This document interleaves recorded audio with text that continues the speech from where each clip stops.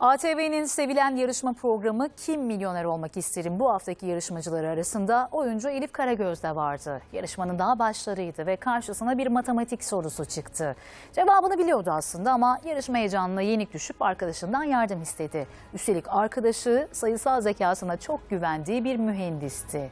Bakın sonra ne oldu? 3'ün 3 katından 2'nin 2 katı çıkartılırsa sonuç kaç olur?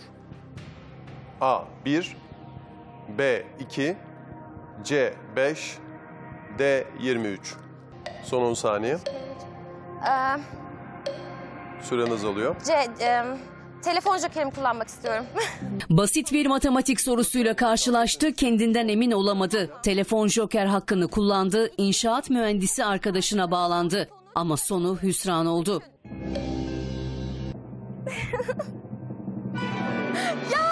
5 dedim. Kim Milyoner Olmak ister yarışmasına katılan oyuncu Elif Karagöz, 3. soruda 3000 lira değerindeki basit bir matematik sorusuyla karşılaştı. Soru aslında çok basitti ama cevaptan emin olamadı. Biliyorum galiba ama korkutuyorsunuz beni. Telefon jokerimi kullanmak istiyorum.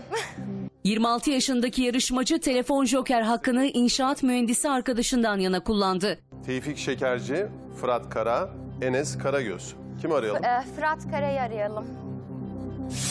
Yakınınız nedir? Arkadaşım, Ne işle meşgul? inşaat mühendisi. Üçün üç katından ikinin iki katı çıkartılırsa sonuç kaç olur? Üçün üç katından ikinin... 25, 23. 23. Tamam, teşekkür ederim. Söyleyeyim mi? Tabii. D 23 son kararım.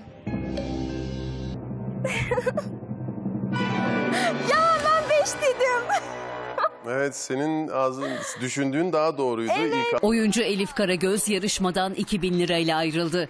Tebrik ederim başarıların Çok devamını. dilerim. teşekkür ederim. Hoşçakalın.